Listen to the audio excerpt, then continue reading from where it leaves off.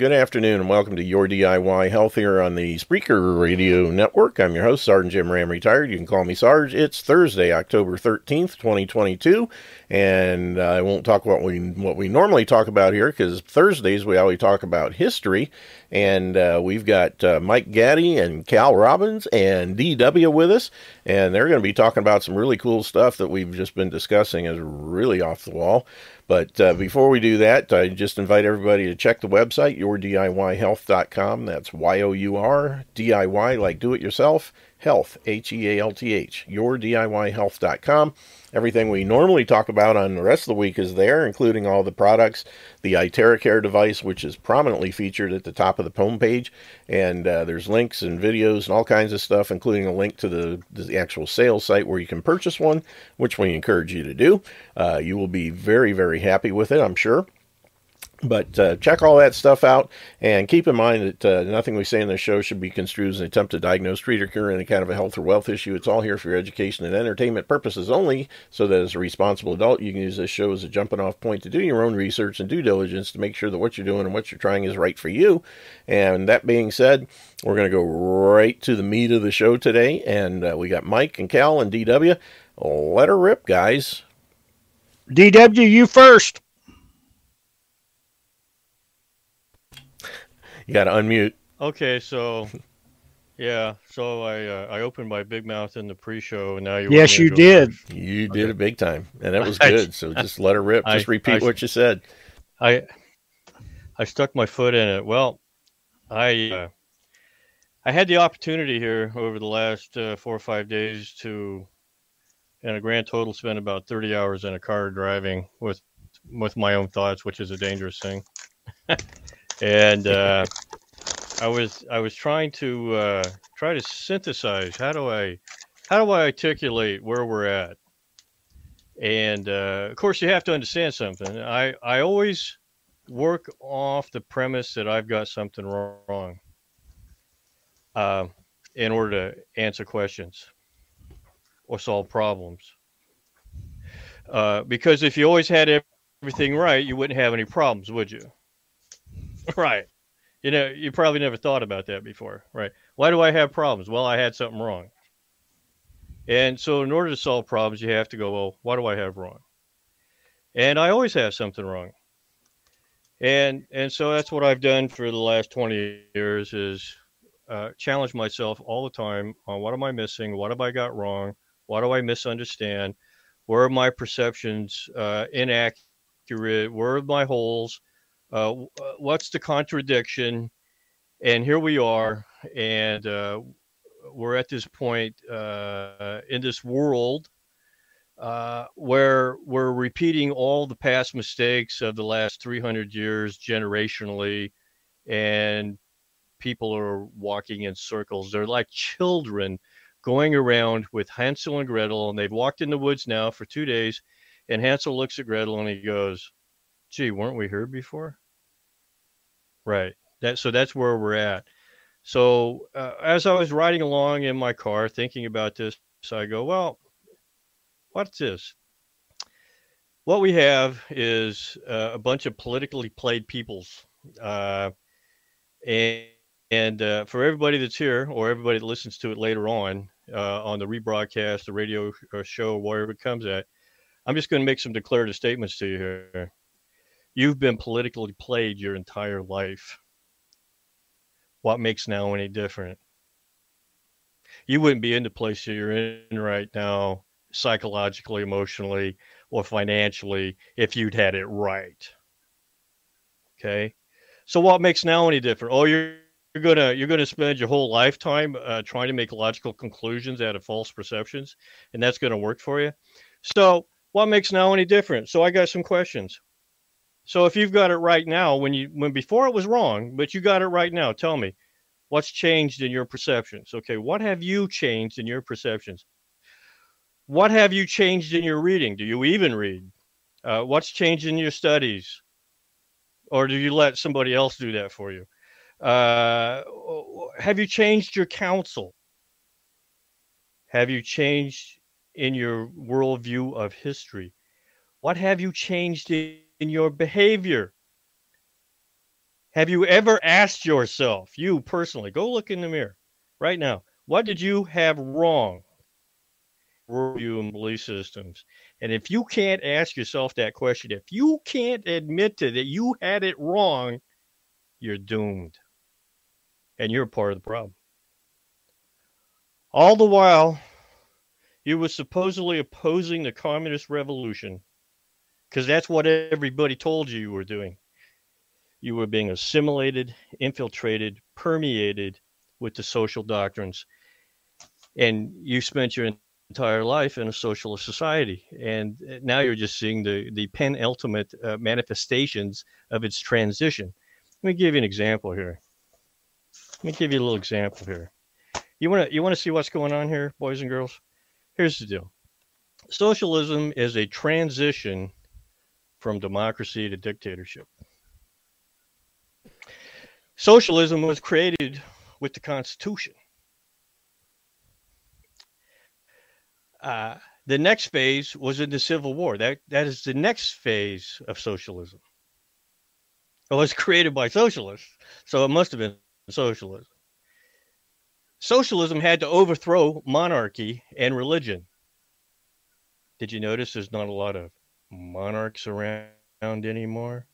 Did you notice there's not a lot of religion anymore? Okay, so they were overthrown. That's step one.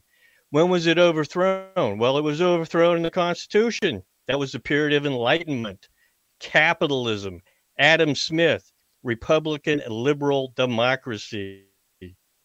Stage one. Dispute, dispute that the enlightened Federalists overthrew. That's this is what the Revolutionary War is for. They want to get to their enlightenment. Well, what's the enlightenment? Well, this is the Republican liberal democracy. Adam Smith. That's a step one. Bye bye, King George. Now we have something we like to call capital, federal, and mercantilism. Okay. Yeah, well, this is step one.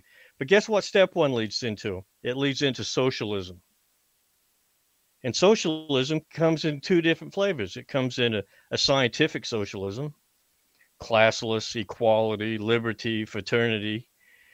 Uh, and it's done slowly, as it was done here. Communism comes in, which is socialism, but it comes in by revolution.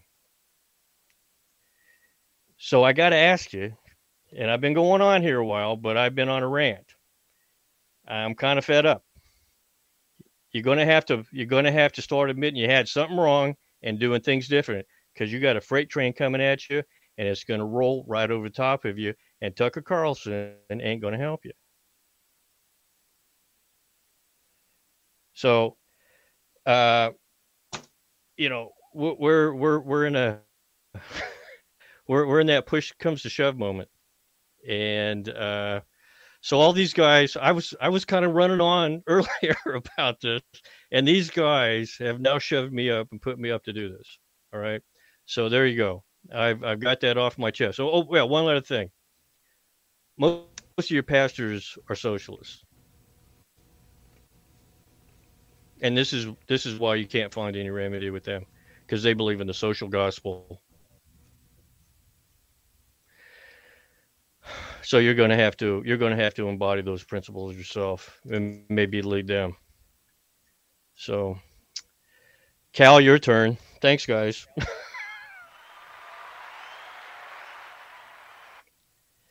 that was the crowd loved that it. Was that was excellent, DW. Did I, no, did I lose everybody?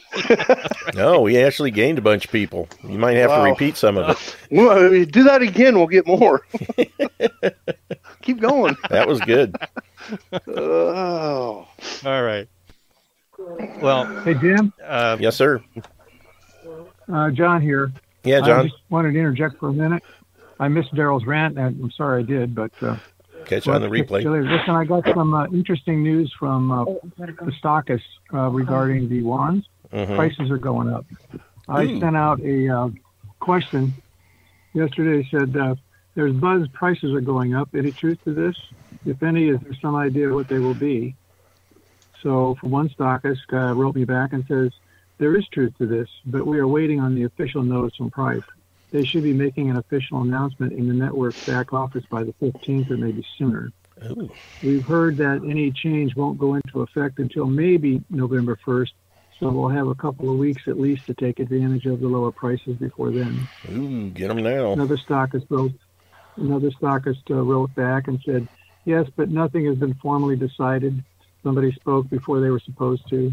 The corporate came to the stockist first, and then they were going to speak with the leaders, and then they were going to make a formal announcement. So I really can't say anything because it was just discussion, and corporate had to go back and after discussing with leaders, then they were going to make their final decision and make the announcement. So I think it's pretty clear that the prices are going to go up. So if anybody's on the fence, they need to grab it now. Cool. Appreciate it. That's all I had. Thanks, John. All right. Hey. So, Mike, you want to take it away, or Cal? Is, well, Cal, is it your turn now? it's Cal's turn. Well, Cal was Cal was Cal, Cal was gonna uh, uh, bring bring to bear here. Uh, let, let, me give you a little uh, introduction, Cal. Cal was going to bring to bear why why the why the Constitution doesn't have any limits on its powers. Ooh, yeah. And and yeah, did I get that close, Cal? Oh yeah, oh yeah. this this comes from last last Thursday. Mike got into a discussion with the Tenth Amendment Center, and he was sharing the conversation, and they were trying to describe that necessary means ne- what necessary means, I guess. And it all hinges down on to whether this Constitution is a document of expressly delegated powers or is it a document of implied powers? Well, uh, for some reason, there's a bunch of people out there saying it's expressly delegated powers. Well, all those people out there saying that weren't at the convention, weren't part of the convention. But here's a guy who was. His name was, oh, yeah, he's father of the Constitution, chief architect of the Constitution, one of the leading Federalists, none other than James Madison himself. And these are James Madison's words about the Constitution. And, he, and this was during the debates over what became the 10th Amendment. He was replying to a proposal from Mr. Thomas Tudor Tucker of South Carolina, who, who had made a motion to include the word expressly so that the Constitution or the 10th Amendment would eventually read powers not expressly delegated to this Constitution. Well, Mr. Madison of Virginia objected to this amendment, saying because it was impossible to confine a government to the exercise of express powers. There must necessarily be admitted powers by implication, unless the Constitution descend to recount every minutia. He remembered that the word expressly had been moved in the Convention at Virginia by the opponents of the ratification, and after a full and fair discussion, was given up by them, and the system was allowed to retain its present form. In other words, they tried to, at the Virginia Convention, say this was the intent. This is, you know, the intent of the state. They wanted to say expressly, but after arguing over it, they knew they couldn't win that argument, so they moved on. And so it, the Constitution went on to have implied powers. This is from James Madison. So, all you constitutional experts out there, you are in disagreement with the architect and father of the Constitution, James Madison himself. This document is a document of implied powers. Now we can go back to DW. DW, implied powers. What else can that mean? wow. It's funny you should ask that. Uh, so if if I was to imply what impl- what the implications are, I would say that uh, uh, just looking at a list of synonyms will give you some uh, some very interesting possibilities here. So it, it, it might mean a suggestion. It might mean an inference. They could infer that they need to do something. Uh, it could be a innuendo. It could be a imputation. Uh, it really depends upon who gets to arbitrate what the implications are. So the implication isn't isn't really so so much of a problem. It's the one that arbitrates that implication. And the government, the government, uh, the federal government, those those legislators, the su- supremes, uh, they get to interpret what the implications or what the implied powers are as necessary, and uh, so they get to they get to exercise their implied powers off the problems they create. Now, there's nothing could go wrong with that, is there? Isn't that just the most wonderful feedback loop ever? Well, don't, well, don't, don't, forget that they also have this. You know that is that is the supreme law. Who, who they become the sovereign, so to speak, and so who is above them to say anything different? well, not God. Well, uh, no, so I, they have what what the federal constitution what the federal constitution does. Here's your feedback loop. If uh, this is this is like turbocharging a car. This is what this is why this is why how feedback loops work. I have the implied powers. I can exercise the implied powers for whatever I need to solve the problems I created. What could go wrong? Or problems you just perceive or make up. That you don't even have to create a problem. You can just say, well, there's this apparent problem over here where there really isn't one, and still apply that necessary and proper implied power to address it. Yeah, yeah. So so then you could tell people to take a vaccine that injection they didn't need. Exactly. Okay. So Mike, you were going to say something. Mike, Mike, you, you were saying something, buddy. Well, uh, very uh, adroitly there. Can you hear me? Yeah. Yep, go ahead. Okay. Well, very adroitly, the old Whig mentioned this early on. He said, with the necessary and proper clause, we look at it and we go, okay, well, whatever is necessary. But the old Whig says, who gets to decide what is necessary? It's never the people. So if the people don't jump to Alexander Hamilton, 1792, in the proposal for the first U.S. bank, in a huge argument with Thomas Jefferson, because Jefferson says that the bank is not necessary, it's not constitutional. And in his many, like any other lawyer, he writes so much about it in contradiction to what he writes a complete word salad to Jefferson and to Washington and in, in essence, he boils it down to necessary means whatever the government decides it means. And he said, obviously, uh, Mr. Jefferson, you did not read between the lines of necessary and proper. Reading between the lines of necessary and proper, you will find the reason for the U.S. Bank. Now, Jefferson very adroitly responds with, Well, I have looked between the lines and there ain't nothing there. But you still got the bank, and you got the bank by the necessary and proper clause. Patrick Henry says the necessary and proper, the commerce, and the general welfare clauses will be the windows through which all manners of evil shall pass. Now, the point that, that I'm, I'm just fed up with the majority of Americans who want to continue to believe that this, uh, that, oh, well, the, the government can't do that. You know, like the 10th Amendment Center sent me a very nice email and said, we always listen to the words of James Madison and we never listen to the words of an arrogant guy like you. so, okay, well, that's all right. But obviously, obviously, they don't listen to the words of their own guy, because it, no matter how many times, and and uh, you know, Cal, you touched on it very well, directly from the first Congress.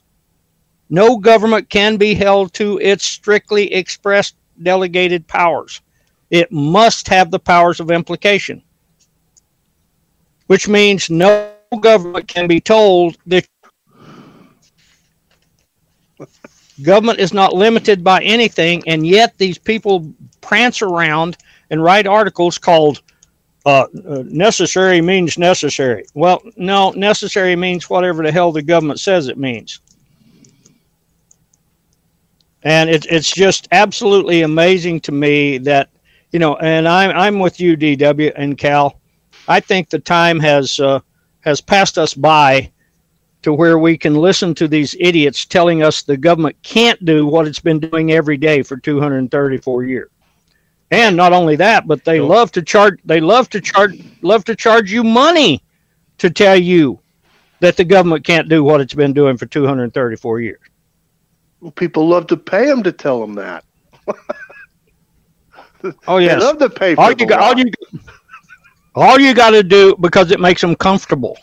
So all you have to do all you have to do is to put at the end of your name, oh, I am a constitutional attorney, or I am the 10th Amendment Center, or I am David Barton, and I'm telling you what God said. Of course, he doesn't tell them which God he's talking about. Yeah. Well, I uh, I would I would suggest that uh, the majority majority of people uh, in this country anyway, left, left or right, um, they they lost their conscience to empire, and uh, now that now that they've gone down that road, uh, they can't repent. I, I I'm sorry, I'm a broken record here. Until you can say you had something wrong, you, you're wasting your time. You you have to say you had something wrong. You actually have to say it out loud. You actually have to do it. It's actually it's an act of repentance. You you really should learn. You should, you should really forgive yourself, and then and then do something different. Because you're just digging the hole deeper. You're you're you're killing yourself. You're killing your children. You're killing your grandchildren because you think you got something right, and you've ignored the contradictions. Right now, there is help, but you, you you're not going to find it by listening to the same people tell you the same stuff that they get paid for, get paid to say by the people that are playing you. Remember, you've been politically played your whole lives. You just you you just want to keep playing that game. Is that what you want to do? You think you're going to get something different? You just you're just going to let the clock run out. So, uh, so until you can admit, and to, uh, first maybe you have to comprehend, but until you can admit you have a fake left and a fake right, you, you actually have to say that because all the evidence is there, uh, and and and the capitalists the capitalists, okay, the mercantilists, from the very beginning, have funded their own opposition. This is what makes it work. This was done all through the 1800s. Uh, th- there's there's there's nothing there's nothing new there's no, nothing new going on here. They're just leveraged it to a much higher level. It's much more sophisticated and uh, I don't I don't think there's much wiggle room now, uh, left guys, for. Uh, I, I don't know where you're going to move. I, I don't I don't know what you, that new job is that you're going to get. Uh, I I don't know who that new leader is. Uh, you know, Donald Trump's going to ride in and and save the day, right? So uh, Donald Trump is is part of the fake right okay and if if you can't if you can't contend with that if you can't really cope with that then uh, well you're absolutely wasting your time listening to me because uh, i won't give you any quarter on it uh, he's he's he's a stone cold uh, capitalist okay and, and and capitalism is the basis is the basis of this. Capitalism is the basis of it. Capitalism overthrows monarchy, not for you. Capitalism overthrows monarchy for itself. And you ain't in it. You're a tool. You always have been. And you're so much a tool that you promote to your children that they should go to schools, not education, schools to be schooled on how to be an employee. And an employee, a tool. Employee is a tool. Okay, so I have to draw out the contradictions here in in the in the BS uh, ideology of this thing called Americanism. So I got a I got a I got this really really good question here. I think it's a question. It says that, and and and you know we're not even we're 25 minutes into this. I'm looking forward to the last you know the next hour, so people could take shots at me here. And so uh, my question is, how will your mythology become a reality, David Barton, Chris Van Van Hall, Donald Trump, all the rest of you clowns? Uh, you uh, tell me how your mythology is going to actually become a reality uh, when you when you have uh, federal usury of capital. Okay, that mean, just start right there. It's it's it's a major plank in in the Communist Manifesto. It has to. It's been there since 1913. Okay, I mean, how do you you can't you can't go anywhere from you can't re- resolve anything under that capitalist control. And so you're just all moving deck chairs around. So I'm going to grab something here. I'm going to get something there. There's there's nothing in the future. There's no future until that's addressed. But all your investments are in it, aren't they? You've invested in it. I want my bonds. So if you're holding bonds, you're a usurer. If you're invested, you've invested your personal money into your 401k uh, and all these other investment vehicles, then you're a usurer. Well, you're part of the problem. That's really harsh. But like I said, time's up. You know, uh, you can't have it both ways and that's that's been the beauty of the American psyche uh, that's been uh, leveraged uh, since uh, definitely since World War II. You can have it both ways. You can march around the world, killing, dominating, wars of aggression, and then look in the mirror and have the government and its propaganda machines and preachers tell you uh, what, what an exceptional and indispensable people you are. And you just lap it up and then go watch football. Okay. And uh, I just can't seem to keep my mouth shut this morning, Mike. Cal. Uh, help me out here. Uh, so says the guy who mm-hmm. called me about an hour ago and said, I'm going to sit on the sidelines today. Right. Until you wind him up, put me in coach. I'm ready to play today. wow. So all we, had, all we, had, to do was wind him up in the pre pre show. No, it's. I, I think it's just there's a general sense of frustration, especially if you're aware of the truth, and I think it's just going to magnify itself all the way up through the election season. I think just that energy of an election season you can almost feel the palpitation of evil flowing around you if if you're aware of it. But you can't be aware of it if you're immersed of it. It's like trying to explain a, to a fish what water is you know? It, it's just immersed in it. And so for the people that are totally immersed in this they're not going to see it these words are going to be word salad to them they but, don't want to, Cal. They don't want to. They, you know, they want to be comfortable. That's why they would uh, prefer to uh, be looking to see what's on TV, or maybe let's see who's playing Thursday night football, or wow, my team, my college team plays on Saturday. Constitution, the world's going to hell. Who gives a damn? There's a game on. Yeah, it's yeah in the meantime, reality is going to come up and bitch slap them upside the head when it, their mythology is just going to, and they're not going to know what happened, or they're not going to care. I mean, DW said there's no future. There's a future, and that future is called slavery.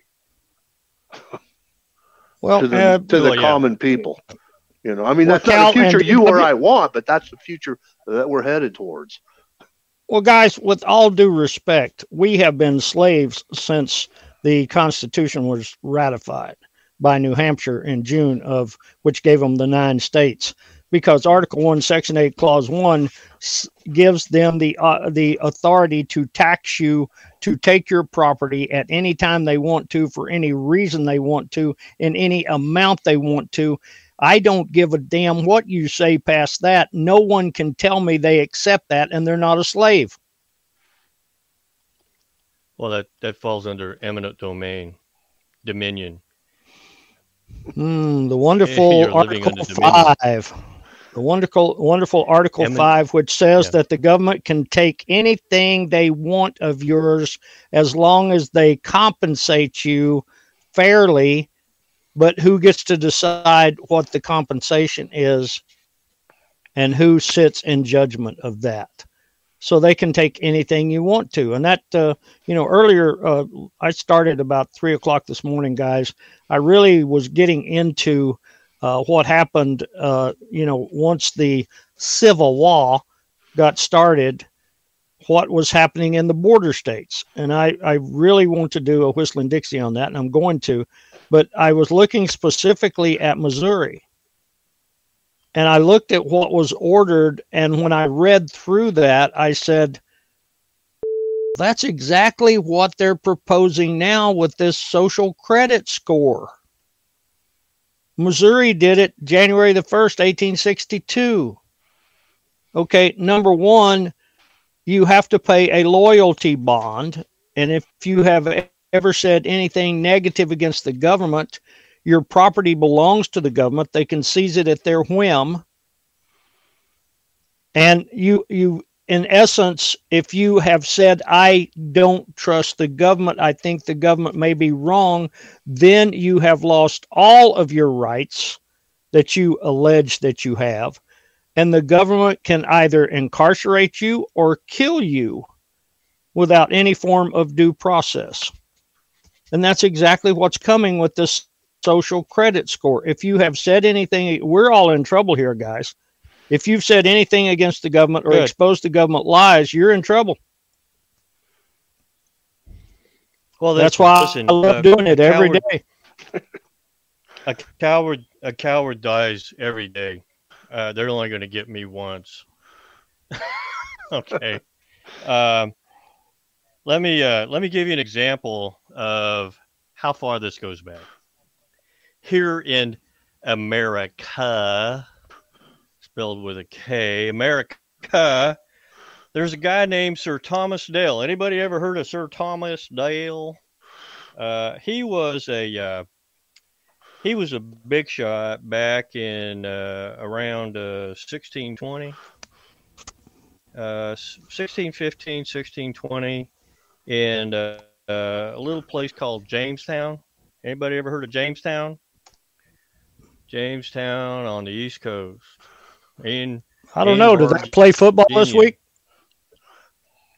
yeah What's their yeah, no, mascot? he, I, I, I, I, he was the quarterback.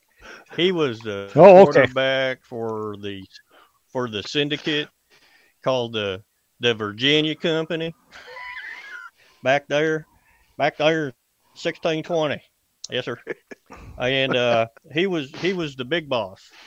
Yeah, Thomas Dale. Let's see, sixteen twenty. That's uh, how many how many years before that uh, revolution? Uh, well, somebody do the math. 1775, 76, 1620. Uh, we'll just call it a, we'll just round it off at 150 years. 150 years. Yeah, that's pretty close. Well, he's, he's, he's the big shot. He's the big shot in, uh, in, uh, Jamestown.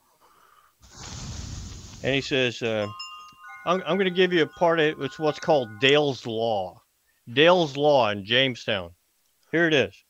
It says, No man or person whatsoever contrary to the word of God shall detract, slander, cal- calumniate, murmur, mutiny, resist, disobey, or neglect the commandments either of the Lord Governor, who, who calls himself Lord? Somebody with a God complex? The Lord Governor and a Captain General and Lieutenant General, the Marshal, the Council, or any authorized captain, commander, or public officer upon pain for the first so offending to be whipped 30 times and upon his knees to acknowledge his offense, asking for forgiveness upon the Sabbath day in the assembly of the congregation, and for the second time so offending to be condemned to the galley for three years, and for the third time so offending to be punished with death. so says Thomas Dale. Yeah. So uh, you know, no no manner, no manner and joy in the conduct of evil has ever been done so so um, justifiably under the pretenses of of God. They'll joyfully go out and commit all kinds of atrocities under with the uh, uh, behind the veil and the pretense of you know God.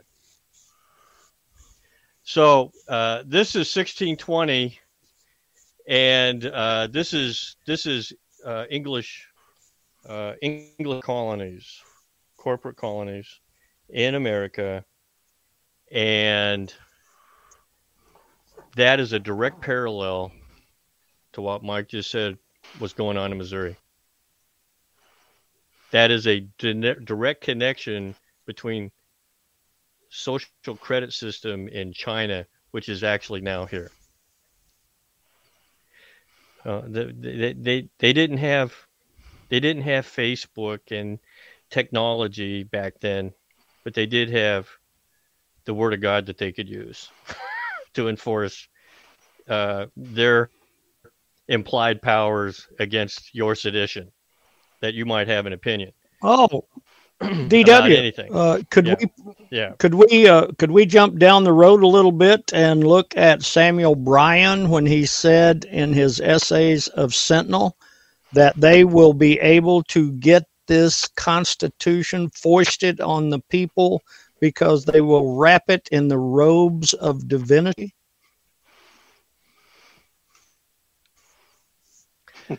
well, yeah, absolutely. Okay. Yeah. yeah. Mike. Yeah. Well, that. Sir. Yeah. It, uh, last week's lesson, or, or uh, Whistling Dixie, you'd commented on how Reconstruction began in the North, and it began primarily in the churches, which would mean that all of the churches are reconstructed towards socialism, as long as all the Southern churches, so that people, you know, in your religion, in your church, you need to understand you are in a reconstructed church. This is a government. It's it's not much different than a government school. These churches, they're 501c3s. They're government entities. Uh, they get special privileges for obeying the government. They, they, I, how do you explain this to people that go to church all the time? That your church probably more often than not, is teaching you socialist principles. do they teach you to stand up and shoot the redcoats when they come and try and take your rights? Or do they teach you to just go along with the government and go vote for more of it? Well, Cal, uh, that uh, what you mentioned, what you mentioned, uh, great point. What you mentioned and what I had said previously about Reconstruction began in the churches. And that is true because the churches during the 1830s through the 1860s, especially in New England and in most of the northern states, was either uh, transcendentalism or Unitarianism. And the transcendentalists were preaching from the pulpit that you are your own Christ. And of course, the Unitarians were teaching there is no Christ. So they uh, then that was the source uh, many times of the beginnings of the Republican Party through those churches, because those churches were supporting abolitionism. Now they wanted blacks to be free; they just didn't want them to live where they lived.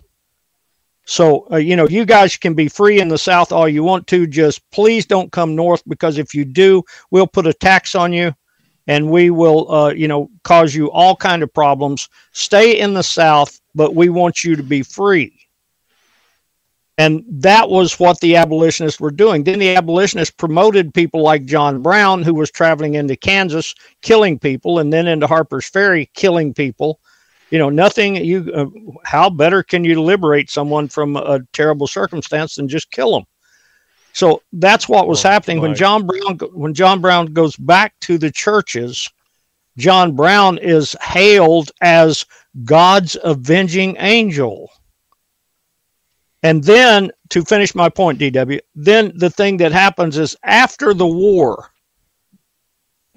the wall of northern aggression. After the war is over, those transcendentalists and Unitarians move south. And your normal preachers were removed from the pulpits. The the Trinitarian Trinitarianism and the others, uh, I mean, it was out. But the totalitarianism and the uh, Unitarians moved into the pulpits in the South and started teaching the same stuff there. Every service, it's documented, every service, every church service started with a prayer to the government. Not a prayer to God, a prayer to the government. Isn't that what and, the pledge is? Yes, exactly. The same thing. I pledge allegiance. Yes, uh, you know, uh, to a flag, you know, and that is what just absolutely blows me away today, especially when every time I've been to a Sons of Confederate Veteran meeting and they start off the whole thing with a, a salute and a pledge to the flag that killed their uh, ancestors, raped their ancestors, and destroyed their property. So let's make sure we pledge that thing. Okay, let's get let's make sure we do that. Okay, if if there's any mention of that Confederate battle flag over there, we'll talk about that later. But the first thing we have to do is to pledge undying allegiance to the flag that destroyed the consent of the governed clause in the Declaration of Independence. And somebody take me out of here before I get mad.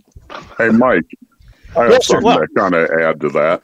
Please, sir. It's kind Please. Of, it's kind of like uh, Richard Pryor's uh, album, The Bicentennial Inward. Uh, in there, uh, they're asking a slave, Are you thankful, thankful? Yes, massa. yes, massa. I'm thankful.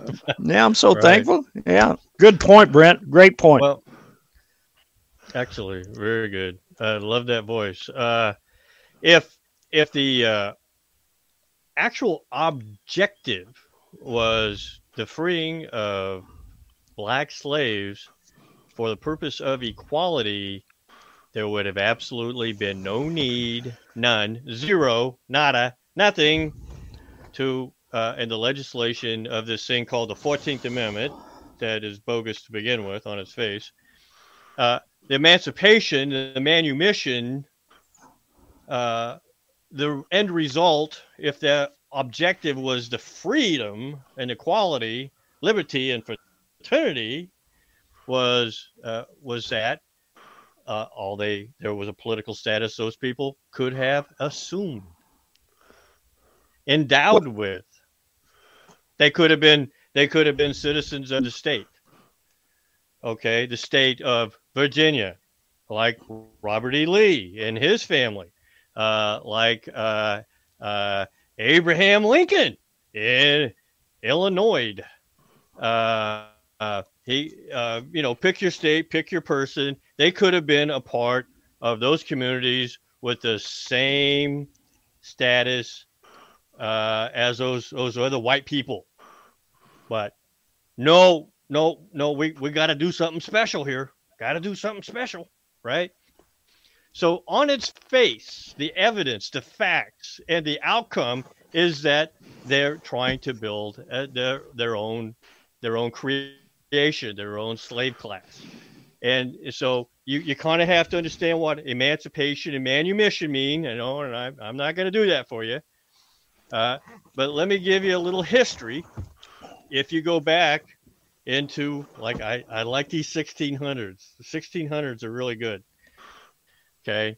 If you go back into the 1600s and the indenture of white slaves, they were indentured.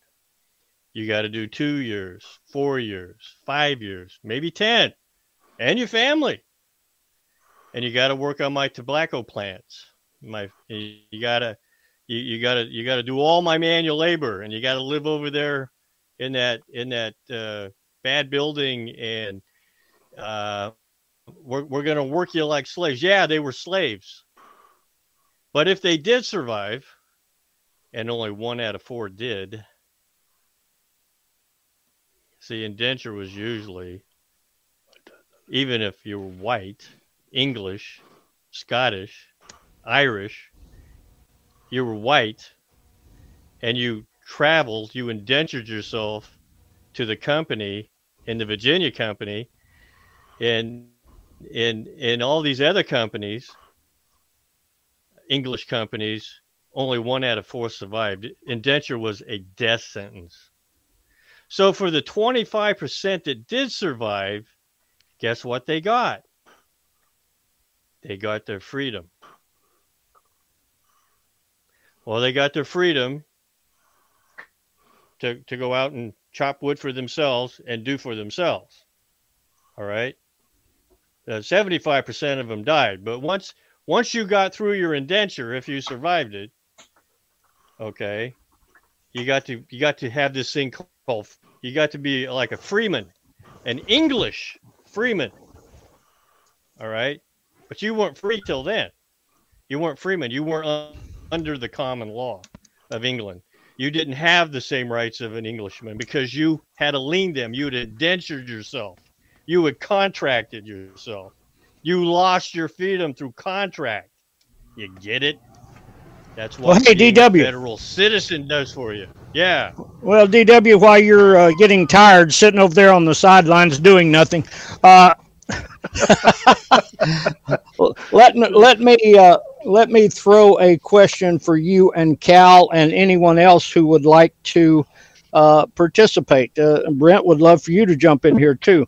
Uh, taking the Emancipation Proclamation, which you mentioned, DW, taking that proclamation and boiling it down to its bare essence, what did it say, DW?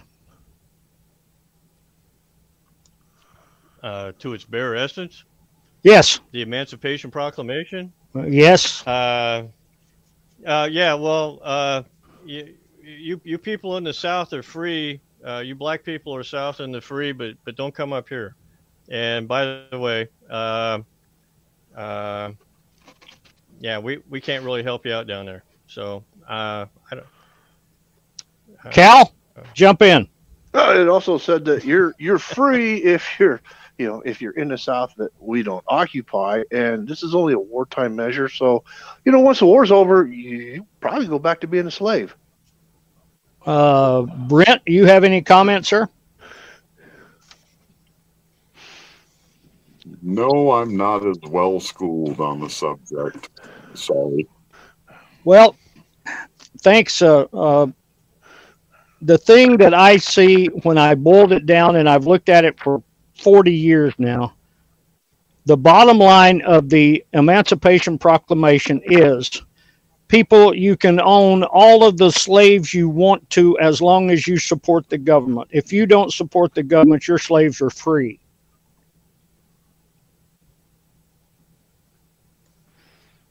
I uh, i welcome opposing viewpoints. That goes along with the social credit score you just described. Exactly. We're right back at the same place. The emancipation proclamation freed all of the slaves in the south while it kept all of the slaves in bondage in all of the northern states and in any uh, space occupied by the Union Army.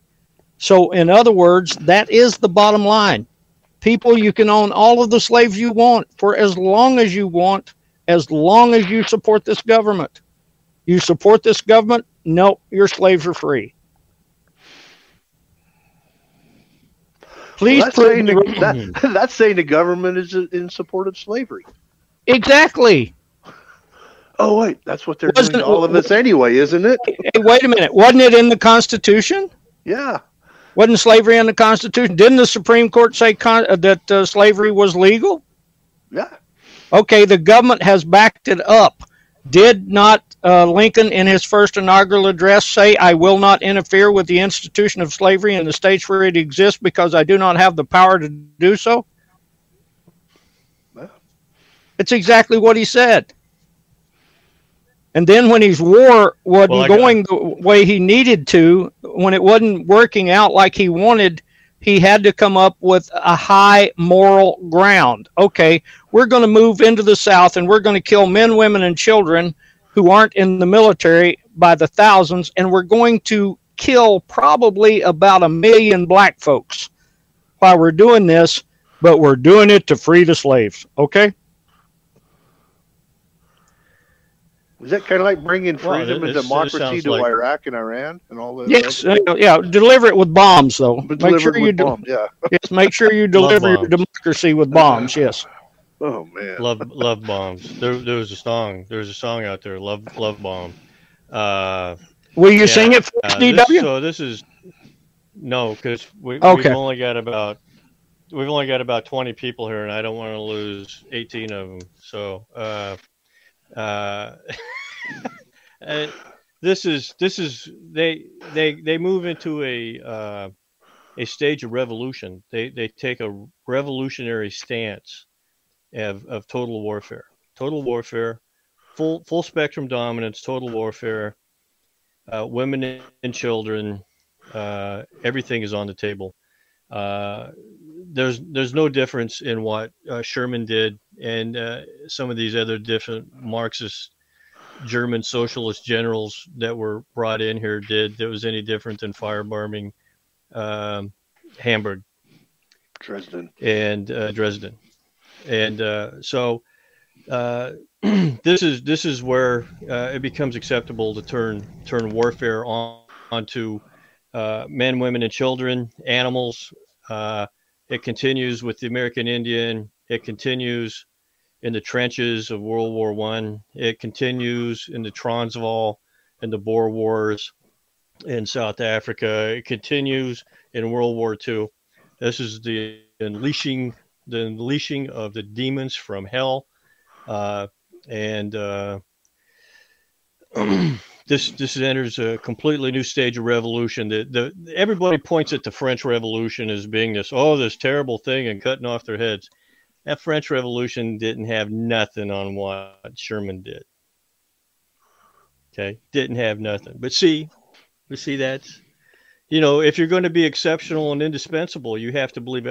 Otherwise, don't you? Right. So if you if you have to if you want to feel good about yourself and believe all the mythology, then see then, you're going to believe what John Barton and and uh, what's her face tells you, and Tucker, and and and the rest of them. See, you, you know, you know what's really got these people in trouble. It isn't isn't isn't the liberals and the and the Democrat, the socialists and the Marxists.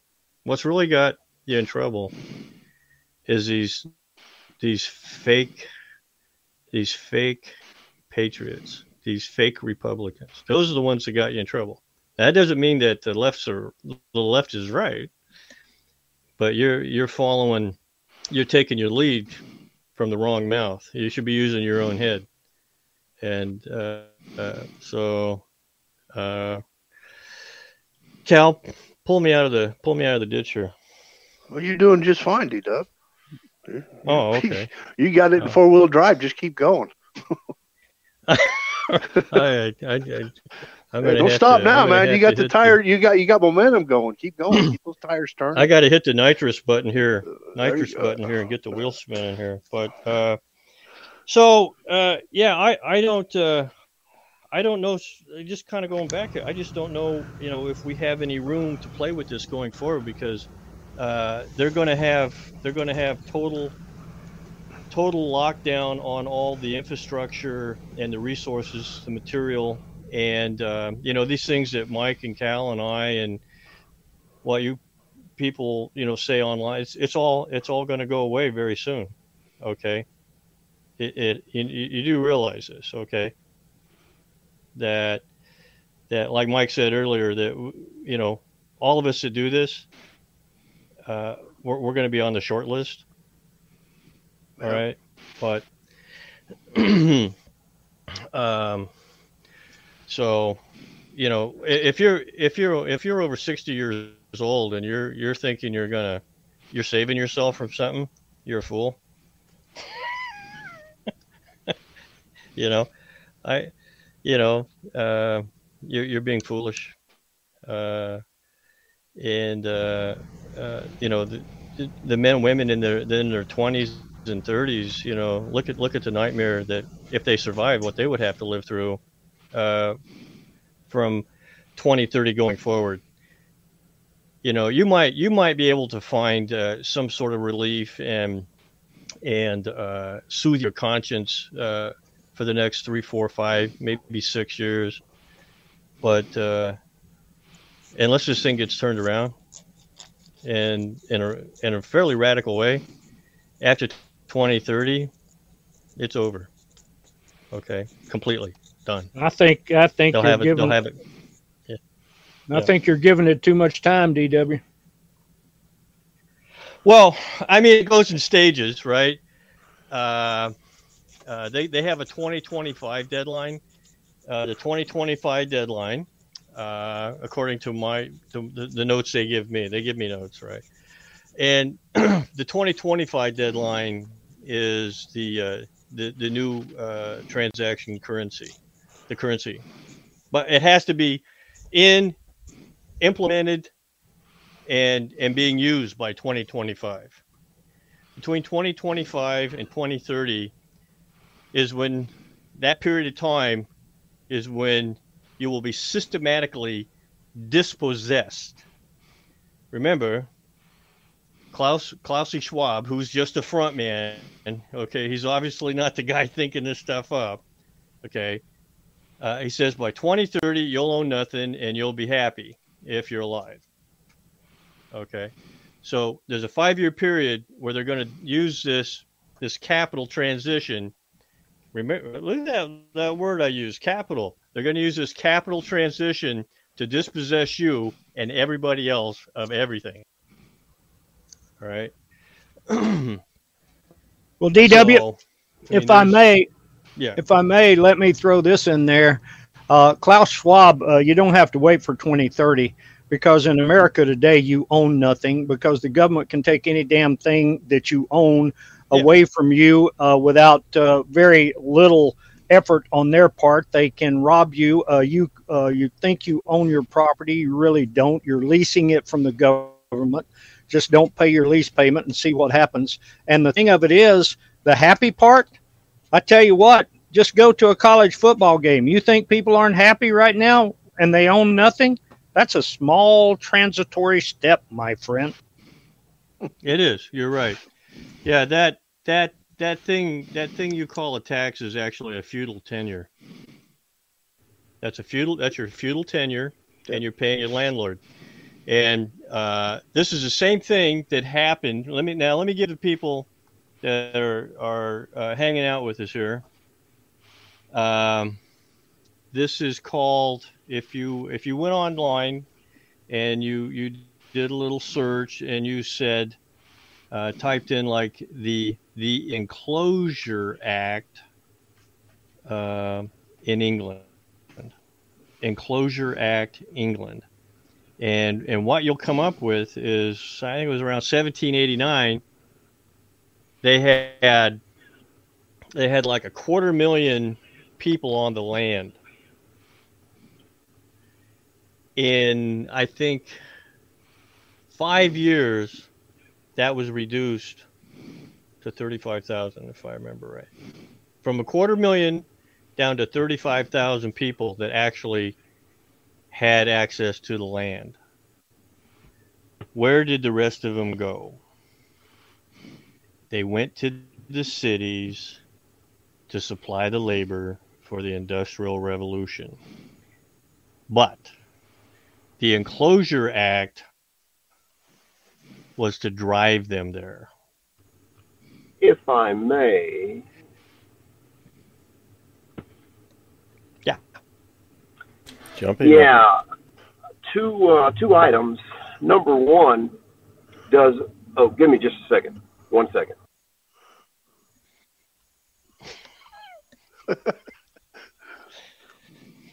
Time's up, Robert.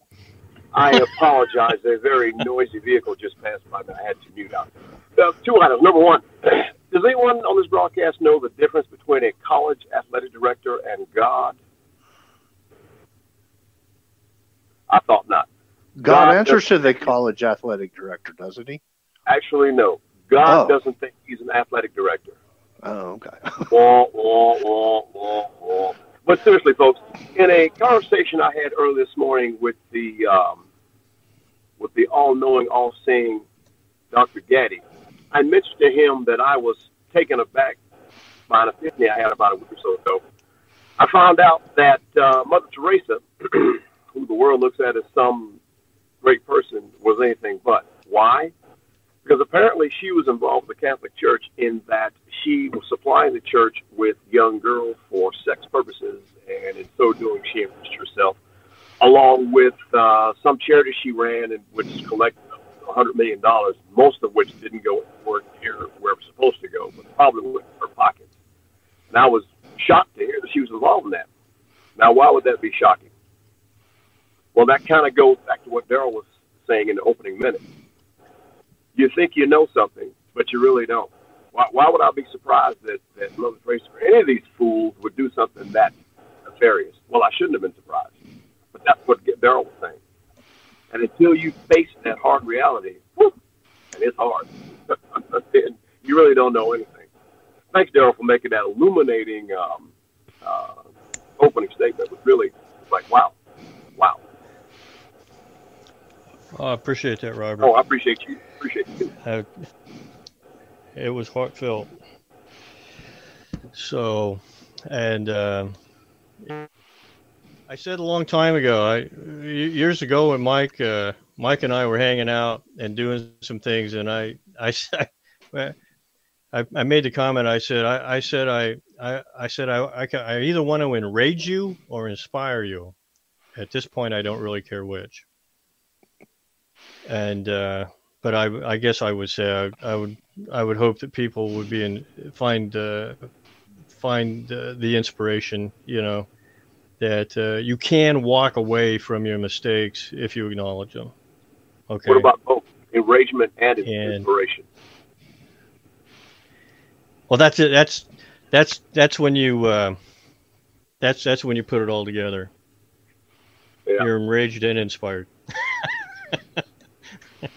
A so, two-fisted comeback. but that's yeah. so, Mike, Cal, Sarge, we we survived the first hour. So, do we dare open the open the open it up to everybody else, sir? Go Please. for it. We, we might as well, huh? Yep. Okay, everybody. Unmute. Let us have it. okay. Wake up first. All right. uh, uh, well, uh, let's see. Uh, while we're waiting for that to happen, uh, I I just want to uh, also recommend. You know, I've said it before, and I'm gonna I'm just gonna keep saying these things because they're the they're the basics. Uh, I highly recommend the book uh, White Cargo, and uh, there's more in there than just about talking about white slaves. It talks about white slaves, black slaves, white and in white indentured slaves. By the way, there were black indentured slaves. Okay, and and and racist slavery. Okay, that racist slavery didn't really happen until the 1700s, early 1700s. So there was through the 1600s, whether you're black or white, you could gain your freedom. And this is this is lost. And of course, they don't talk about any of this stuff. You know, Cal, Mike, uh, they they this whole thing about this uh, pseudo pseudo history is that when you talk to anybody, their idea of America actually starts well. They'll say something about pilgrims, they'll say something about Thanksgiving, and then all of a sudden we fast forward 150 years and we had a revolution. okay, they leave everything out in between, and they actually leave out they leave out everything that that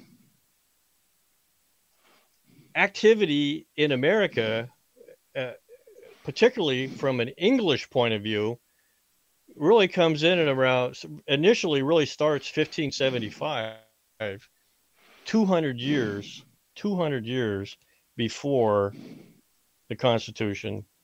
And and uh, about 40 40 45 years before the pilgrims show up.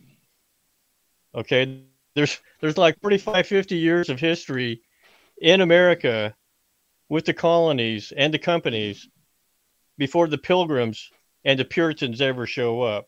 And by the way, the Puritans were not interested in democracy.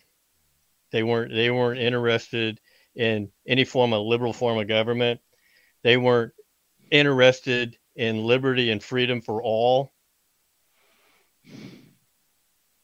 If you go look at their charters.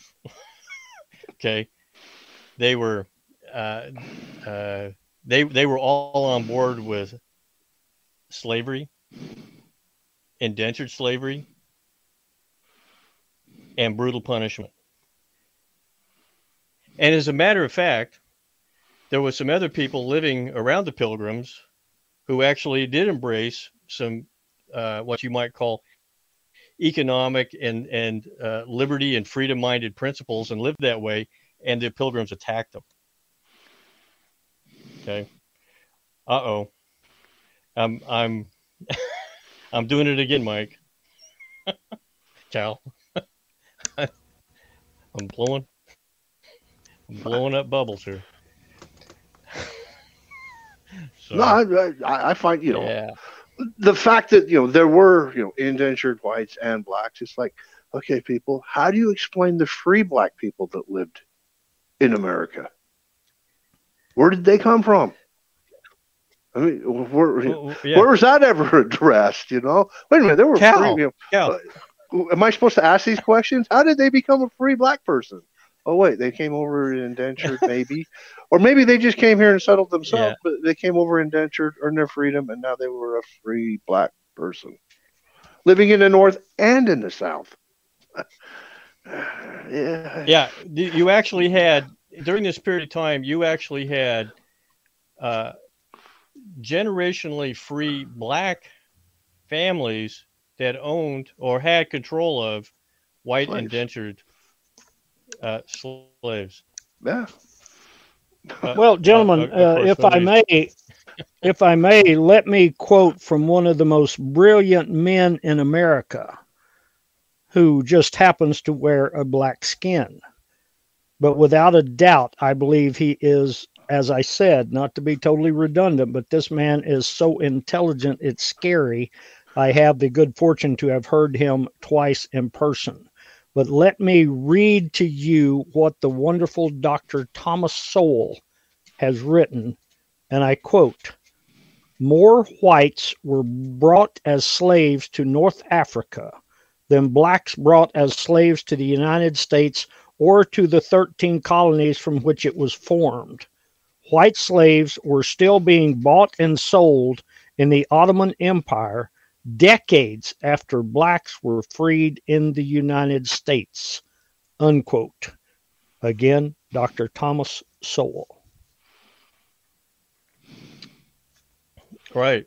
And if if you ever uh, to to piggyback on Thomas Sowell, if you really ever wanted to read something that accurately described Marxism, you'd read his book, Thomas Sowell's book, Marxism and uh, uh, that was recommended to me, and I just want to pass it on. He's uh, he's a brilliant man, and uh, uh, uh, well, if you want a really good to, lesson, yeah.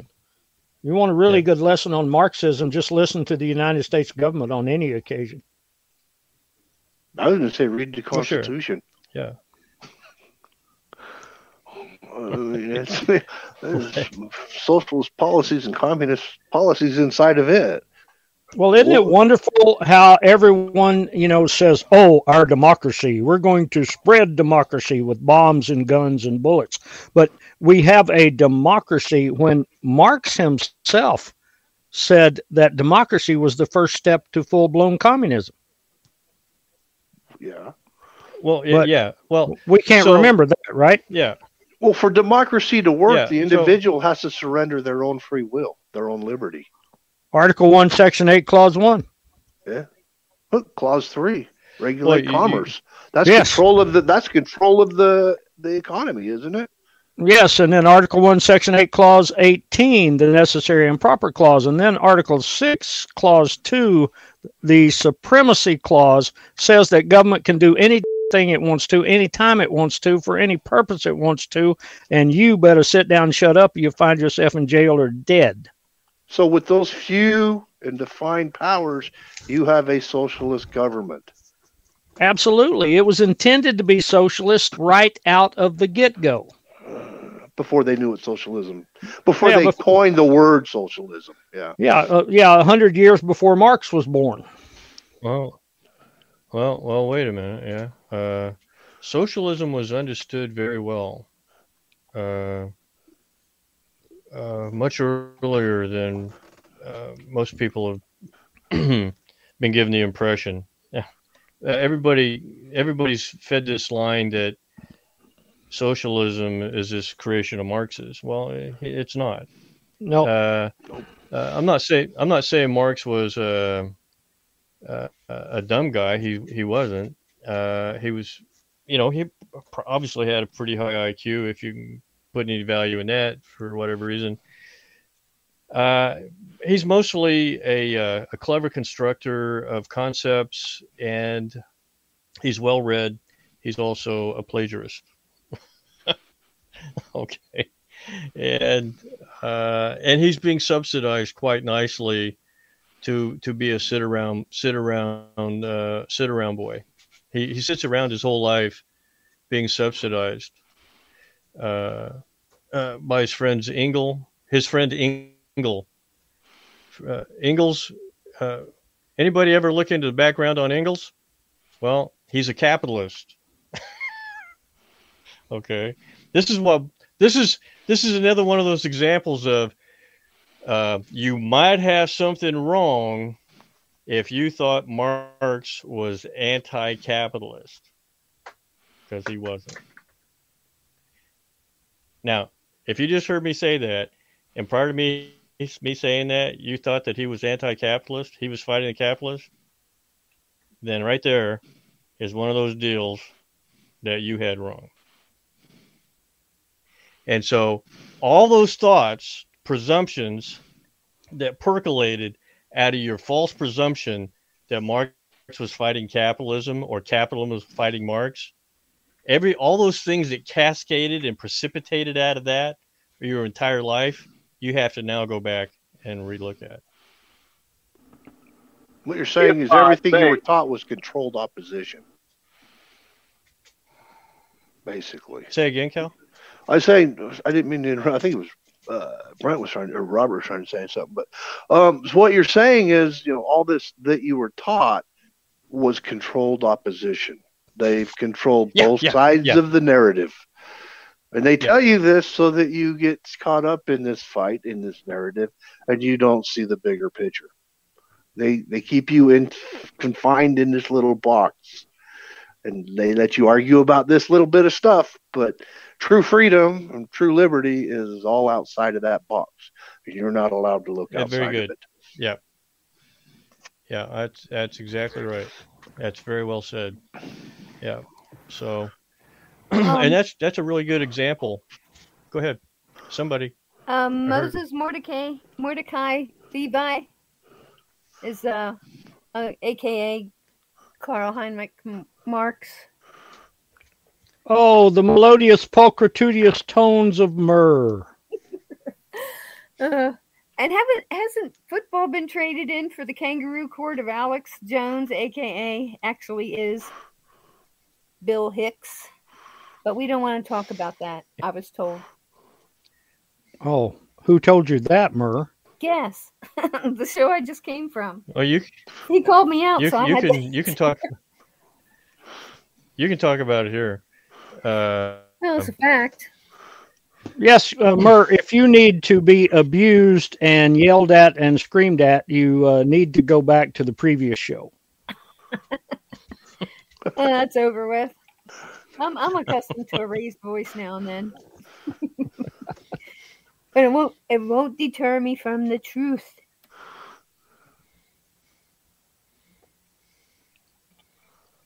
so, uh, uh, Mike, tell us tell us uh, tell us a little bit more about the uh, what was going on in Missouri with these uh, these sedition these sedition laws.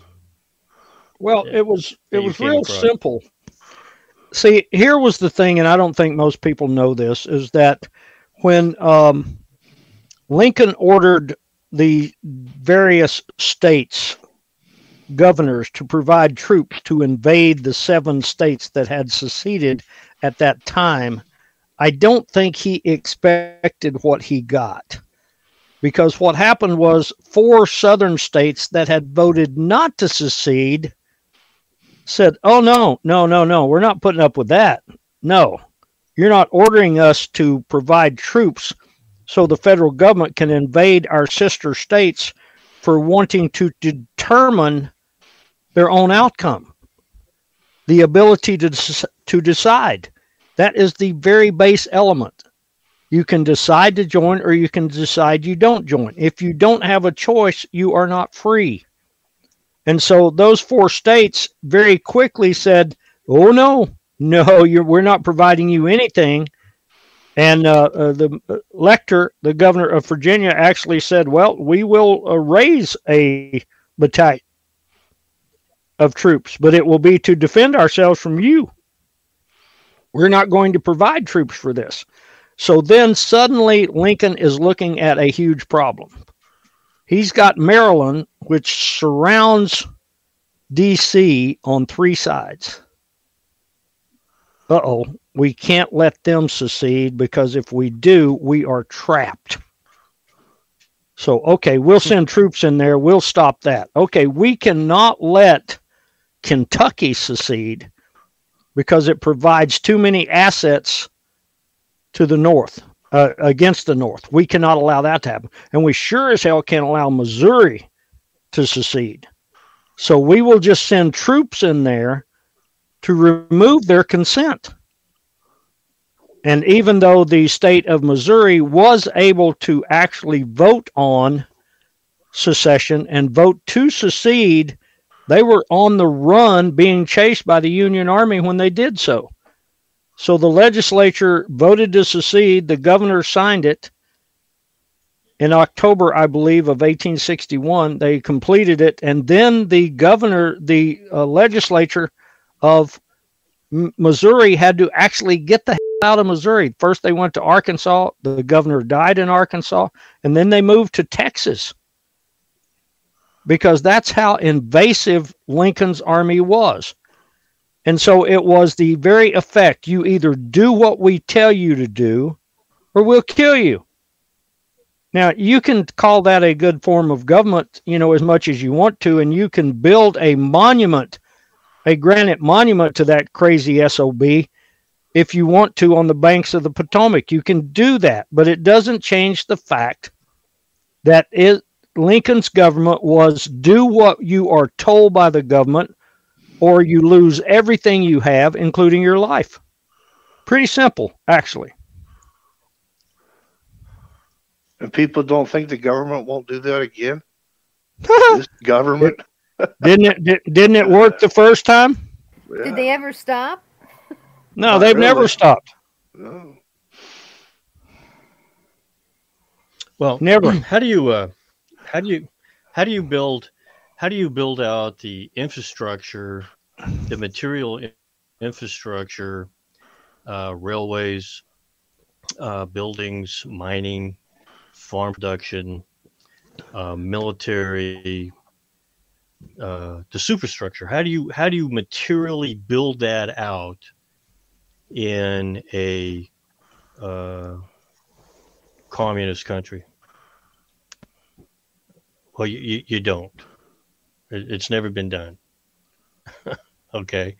If, as if you hadn't noticed, uh, the, the, Soviet Union, uh, Republic, the Republic of the Soviet Union, was was pretty inept uh, at doing anything uh, of its own volition and initiative, uh, merit, energy. Uh, it surely didn't use its own capital, did it? How does a how does a communist country like the Soviet Union build build commerce without capital? How do you build infrastructure without capital? Well, you, you, you don't.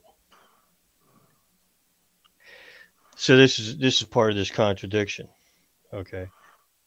So uh, this uh, this this whole this whole thing from the Civil War period going forward, there's a vast expansion in infrastructure being built in the United States uh, post Civil War.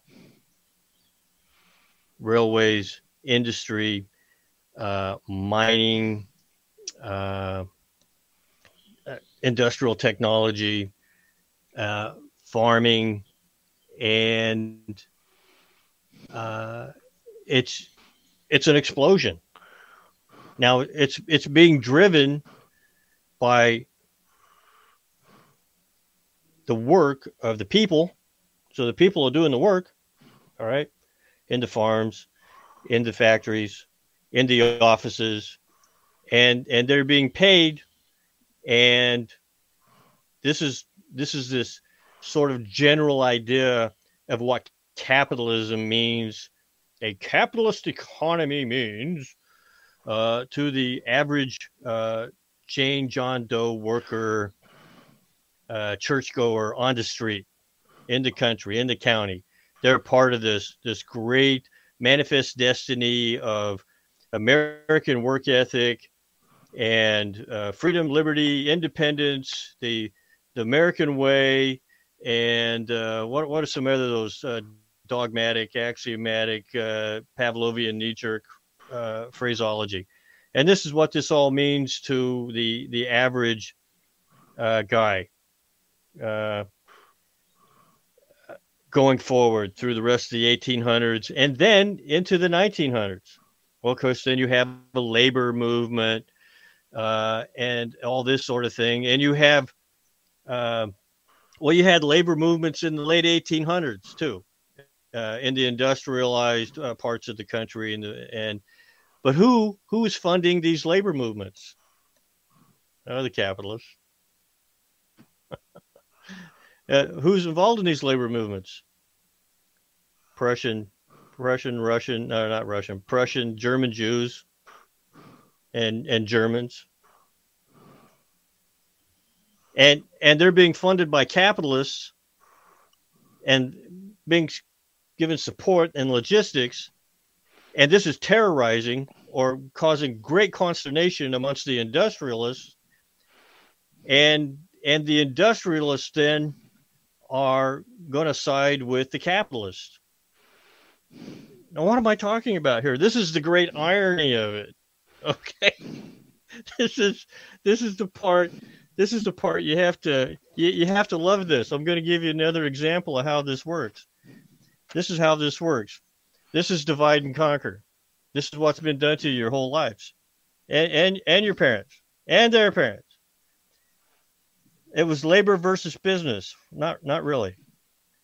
Okay, so by subsidizing and instigating labor, the capitalists, the money power, drives businesses and corporations to the feet of the money power. You can, if you're the capitalist, you can control the businesses not only through your capital, but by labor terror, terrorizing them with their own labor. And you drive them, you drive them to do your bidding, or or become uh, even more dependent upon you. so the irony of it is, is that the, the business and corporations, uh, we're, we're looking to protection from capital, while capital was actually funding the source of their fears. The, I hope you're I hope you're seeing this. This is this is how you you divide and conquer and create a feedback loop, and this is capital, capitalism. So, I uh, and and you you can't uh, you you cannot you just absolutely cannot break free of these chains as long as uh, that you have submitted yourself to the debt of the federal uh, private banking. Okay, you you can never be free. Uh, we'll never be free, ever. Uh, this is why I, I won't pay him. I, I don't pay him. I'm, I won't do it. Uh, I, I suppose I might get in trouble someday, but you know I've been in trouble before. but uh, I mean, anyway, they're gonna they're gonna come uh, and take everything you own. Like they're gonna do it anyway. So why pay them to do it, right? Right. Right. Right. Yeah. So um, that's uh,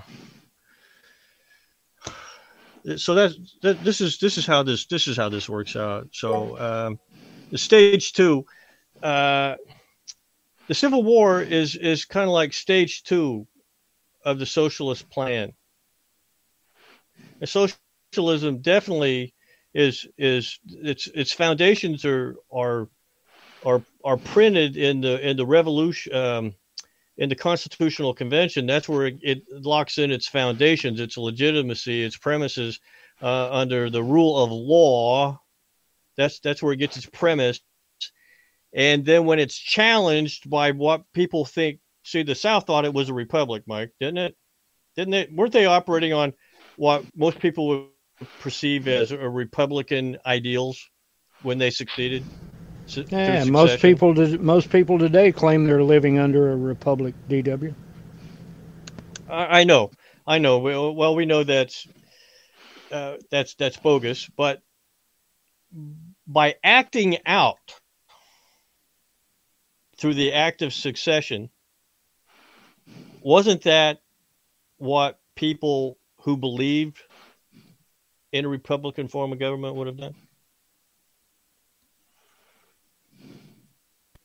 Liz had a question. If uh, Liz, just go ahead and unmute and ask it. Please, Liz, do so. Yeah, um, I'm I'm thinking about people who are in this destructive frame of mind and think that they're on top, um, and you know, in control. Uh, isn't this also going to wind up turning around on them? In other words, Everybody, Liz. yeah, this you're not Yes. protected just because you're uh, in the know or you're Carl Schwab or uh, Soros or whoever. First of all, we're all going to stand before the judge in the end. And somehow being uh, on top, so to speak, is not necessarily as good a place as you think it's going to be. Hey, Liz, Yes, what happened to Professor Frankenstein? I thought he was fiction. I actually, Well, even in fiction, what happened to the creator who created the monster? he was destroyed probably by the monster. I don't remember. Oh, really? Really? They actually created a monster which then devoured them? Yeah. Oh, I uh, I love that uh, concept. Yeah. Sometimes fiction is telling you more truth than you want to know. Absolutely. Yeah, I yield. Thanks, Liz.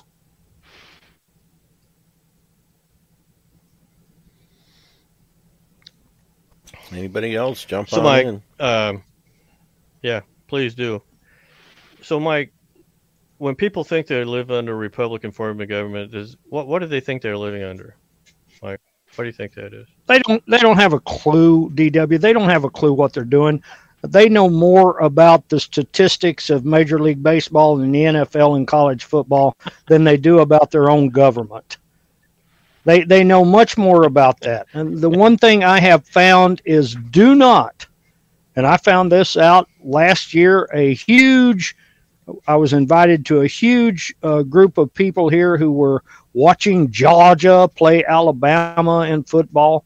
Uh, just a, a, bunch of people, you know, people brought food, they brought everything else, and they're cheering and they're yelling, and you could hear it you know, no matter where you were in the immediate vicinity, these people were just absolutely fanatics about this football game.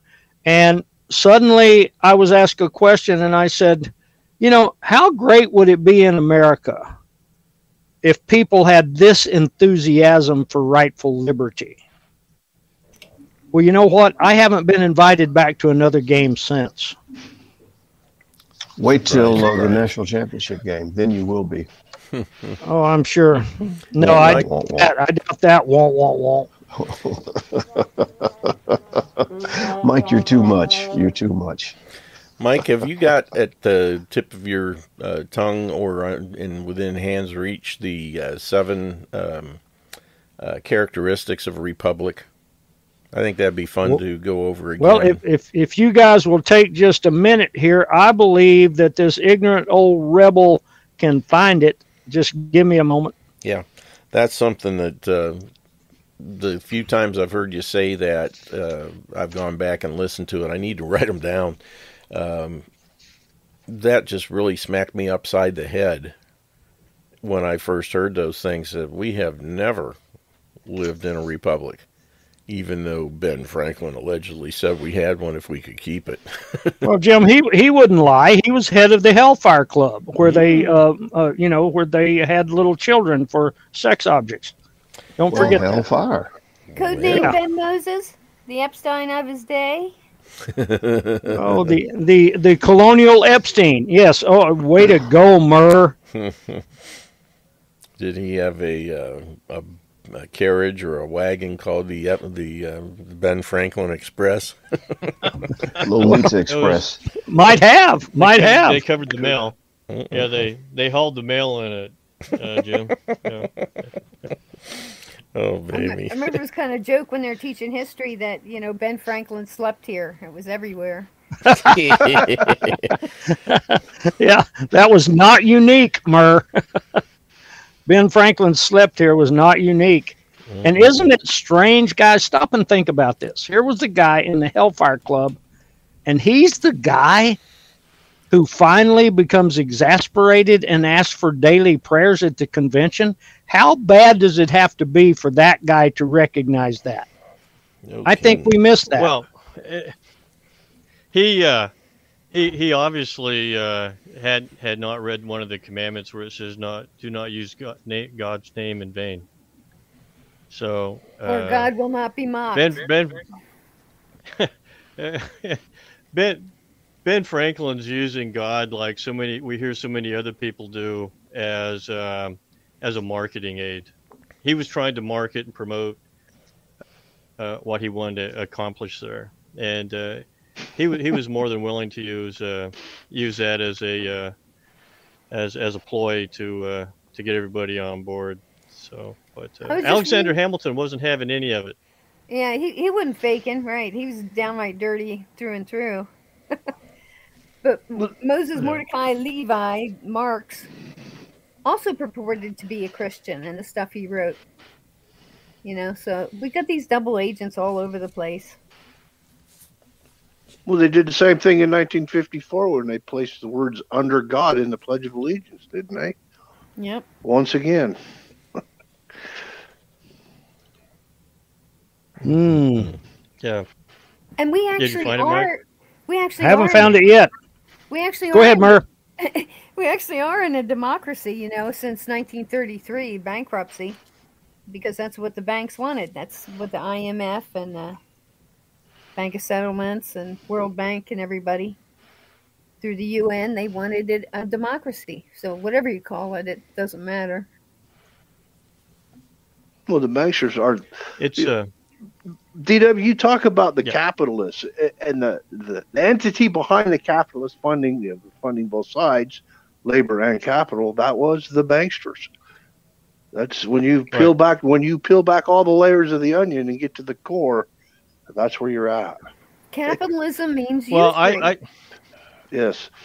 Yeah, I, I think I think uh, I think democracy, as it's been animated uh, in this place, is more likely called impotency. And I'm ready. All right, Go ahead. Mike. Right on. Oh, okay. The seven basic principles necessary to constitute a republic form of government.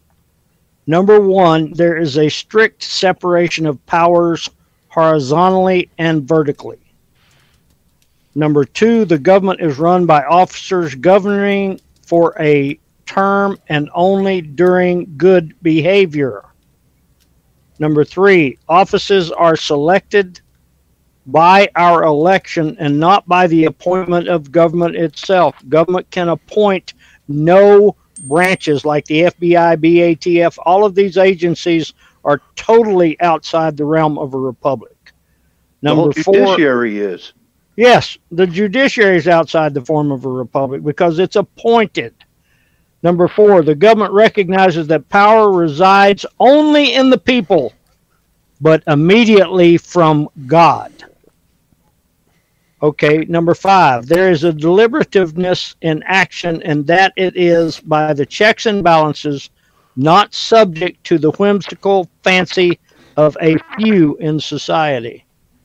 Number six, the government acknowledges the final right of the people to alter or abolish it whenever it usurps the rights for which it was instituted by the people to administer God's law. Not man's law, God's law. Number seven, the government does not and does not grant entitlements to anyone. Those are the seven principles for a republic.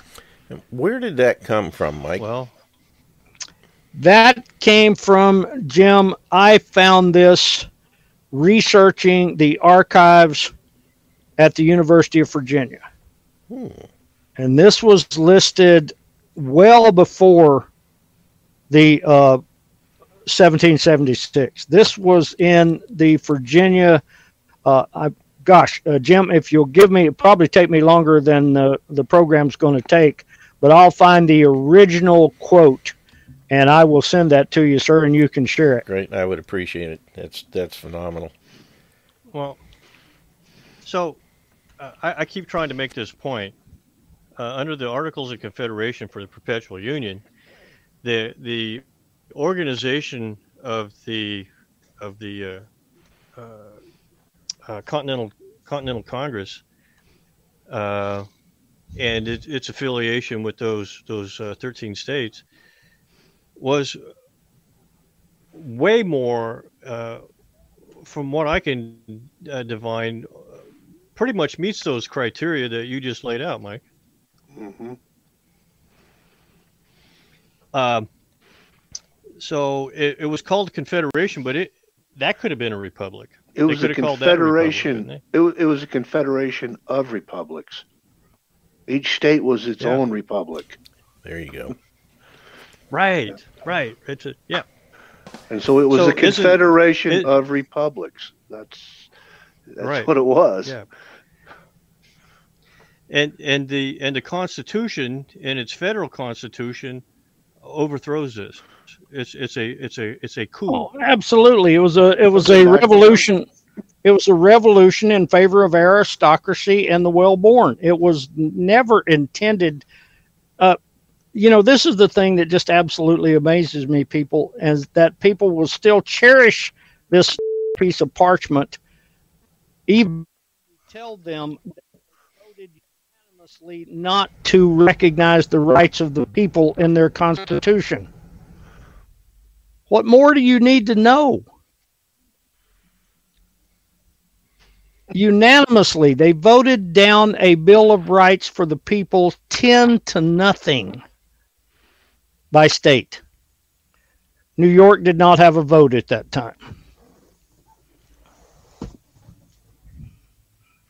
So, how can we even begin to believe that these this group of people who would then 68% of them uh, who were at the Constitutional Convention would later hold office in the new government that they themselves had created. So, what makes anyone think that they created a government for the wealthy and the well born, and that that government would protect the rights of the people they sought to tax to death? well, if they write it in the newspaper, they'll believe it. Yeah, that's and uh, or let Tucker, Sean Hannity, or uh, yeah, on TV, or uh, Barton, or uh, KrisAnne Hall, or the Tenth Amendment Center. All they have to do is say that the government can't do this, and people who have sat and watched the government do it for 230 years believe them. Mike, yeah. you have that little ditty yeah, you put up on Facebook about a conversation with a, a constitutional scholar and and a conservative or whatever it was. I've been looking for it and I can't find it. Which one's had, that, Cal? You put up a conversation. You you made up a conversation between, you know, a Constitution worshiper and, and someone like KrisAnne Hall, where they just kept you know kept asking him questions, and she kept saying, "Yeah, well, if you keep paying me, I'll keep telling you this." I can't find it was a it was a really good little ditty you put up there, and I can't find it. That's the way it happens, you know. When you want to find something, it disappears. Well, Otherwise, Cal, can trip over it. Cal, can you say "pretty please"? Pretty please. Okay, pretty buddy, please. I'll find it. I'll find it. I'll, I'll uh, find it.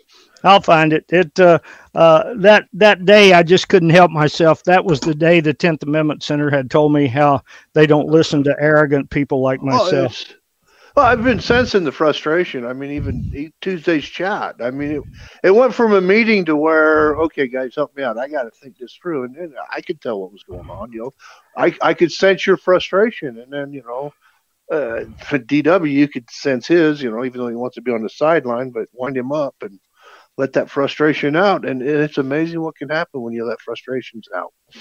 Well, Cal, can you believe that within like an hour of that being posted at Podbean, that uh, class on Tuesday night, that within an hour of that class being posted, there were 252 downloads? That's excellent. That's yeah, it's it's growing leaps and bounds. So anybody out there that wants to take advantage of it, is Telegram channel on chat on Tuesday nights. It's it's it's pretty interesting. I enjoy the heck out of it. Well, I was, uh, thank you, but uh, I was, uh, I, I, got to admit, uh, I just wanted to talk with the people that I felt like I could trust, the people who are like minded, who are in the group, and you were there, Cal. I just wanted to kind of let out the fact that, you know, what is it going to take? How bad is it going to have to be before people realize what is actually going on in this country? Yeah, that's well. That's the that's the general sense of frustration that this show started on. So it's it's just a continuation. It's been hey, it's been awesome. You know they they they used to say you know that's the that's a sixty four thousand dollar question you ask in there, and then you know it, because of inflation it became well that's the million dollar question.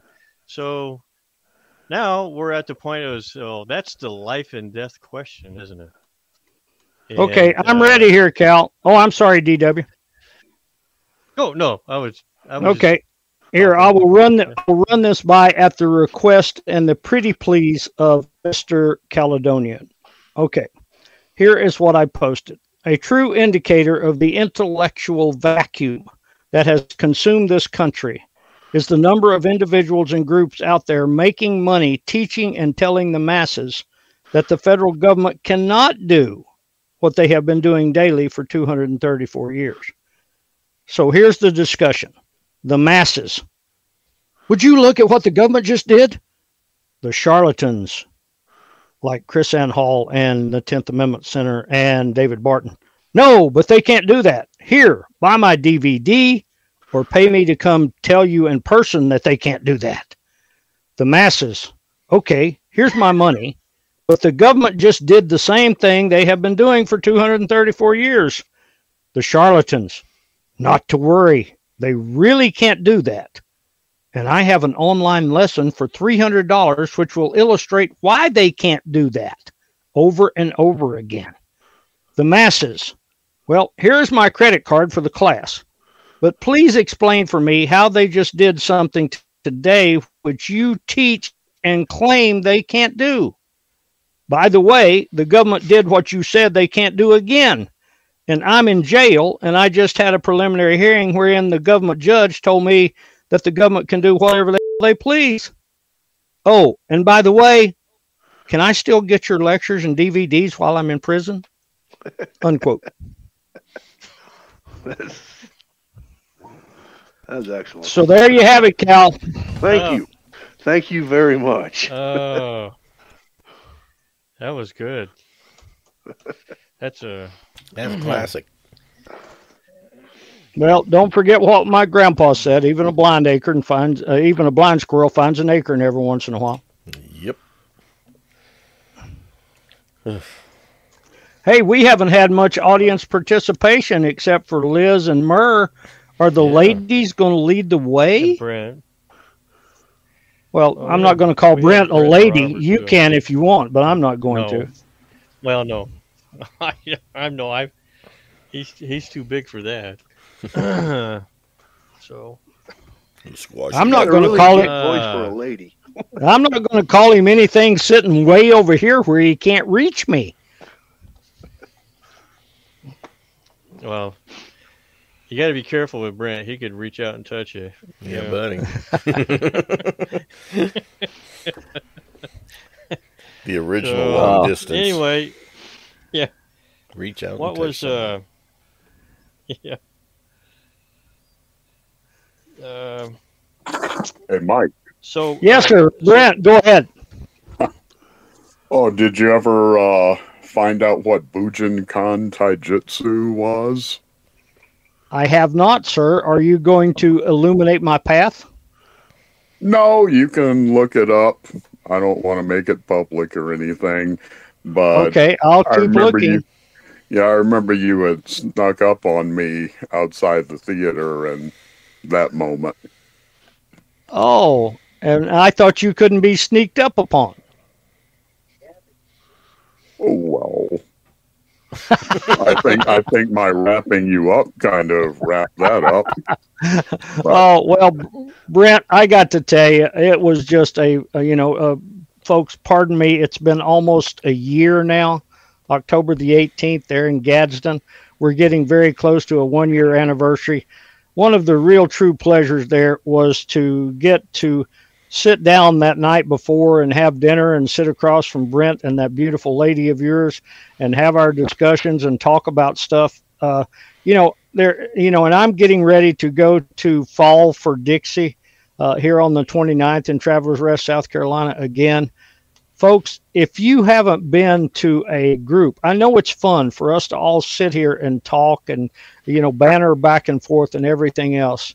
But until you have stood in the presence of other people who feel the same way you do and who uh, understand what we're going through, you know, if you, you know, one of the pleasures in life is actually getting to stand near the same people, talk to the same people. It is a blessing from the good Lord. I promise you that. So if you ever have the opportunity to go to, uh, and uh, don't expect a large crowd, it's not going to happen.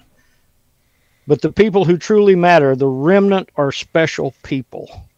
They really are, and you feel it in their presence. I know I do, and it, it's it's just like having sustenance. It's to be with them and to listen to them and to talk to them, and you hear what they're saying and you feel their emotions. It is like, uh, you know, it's like food. It's like food for the soul. And that's enough of my ranting. So uh, go ahead, folks. Hmm.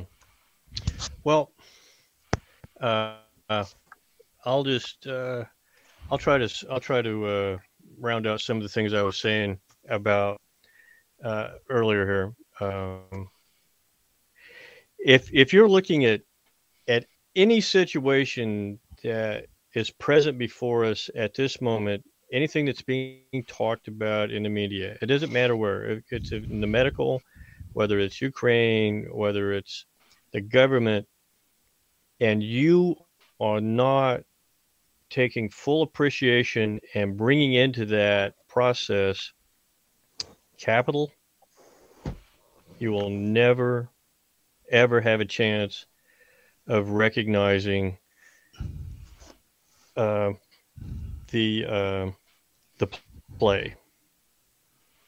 This is once you fully get your mind around how all encompassing and controlling capital is. This is the banking power. They call it the banking. I think that's a misnomer. I, I don't think it does it justice. Uh, you can call it the syndicate. You could call it the money power. Uh, it goes beyond just banking that people have in their mind.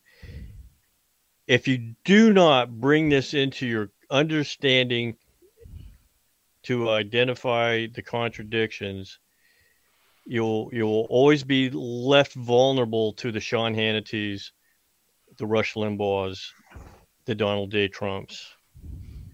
Donald J. Trump is a perfect example of a step and fetch it for his masters. He is not his own man. Well, Never DW, has been. DW, do you have a moment for uh, me to quote none other than Andrew Jackson of, on your subject? Oh, please. Pretty please. Okay. Quote It is not our own citizens only who are to receive the bounty of our government. More than 8 millions of the stock of this bank, talking about the Bank of the United States, more than 8 millions of the stock of this bank are held by foreigners. Is there no danger to our liberty and independence in a bank that in its nature has so little to bind it to our own country? Controlling our currency, receiving our public money, and holding thousands of our citizens' in dependence would be more formidable and dangerous than a military power of any enemy. If government would confine itself to equal protection, and as heaven does its rains, shower its favor alike on the high and the low, the rich and the poor, it would be an unqualified blessing.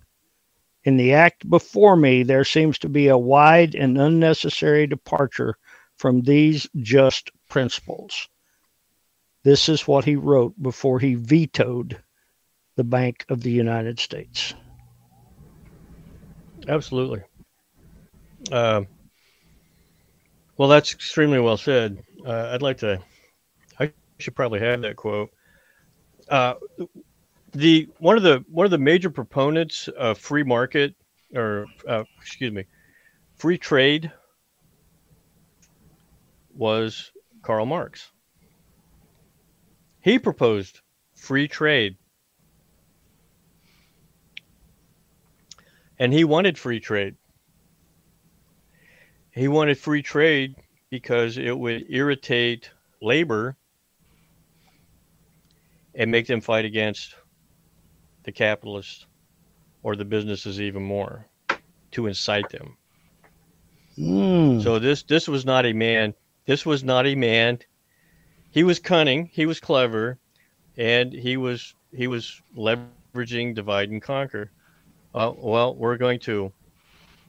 Uh, and and he's working for the capitalist. Okay, is is Karl Marx a capitalist? Well, not in the sense that he has any money. He's working for the capitalists. He's subsidized by the capitalists. So after after he gets kicked out of Germany during the failed 1848 to 1850 revolution. Where does where does Marx go in 1850? Anybody got a guess? Where does he leave for? France first and ends up in London. Well, he ends he ends up in London. Right. He started in London. Uh, right. Hey, and, what's in London? He, capital. The Bank of England. It's got a lot of cap. It has a lot of capital. Hey, DW. It has a lot of capital. Let yeah. let me let me run something by the folks here as we're running out of time, please. And I think it's important that people know this.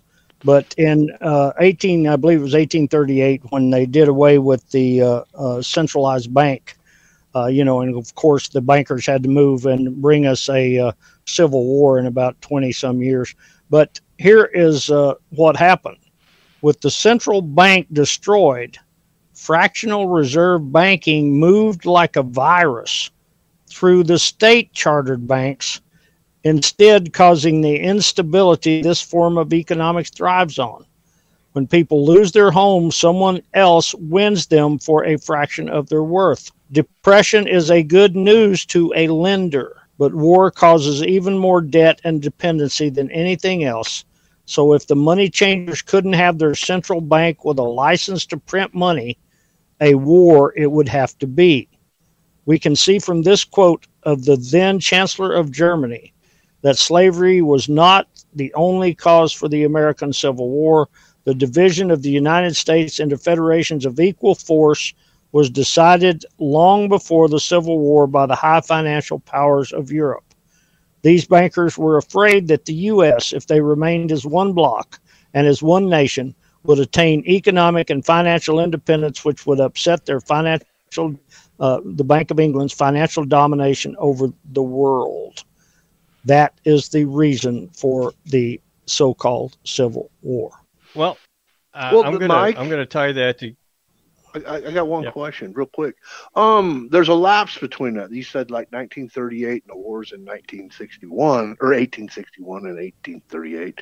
Um, it's important to note of these events that were happening in Europe, which probably took a lot of focus and effort and let dare say capital of the capitalists to manage what was going on over in Europe during that time.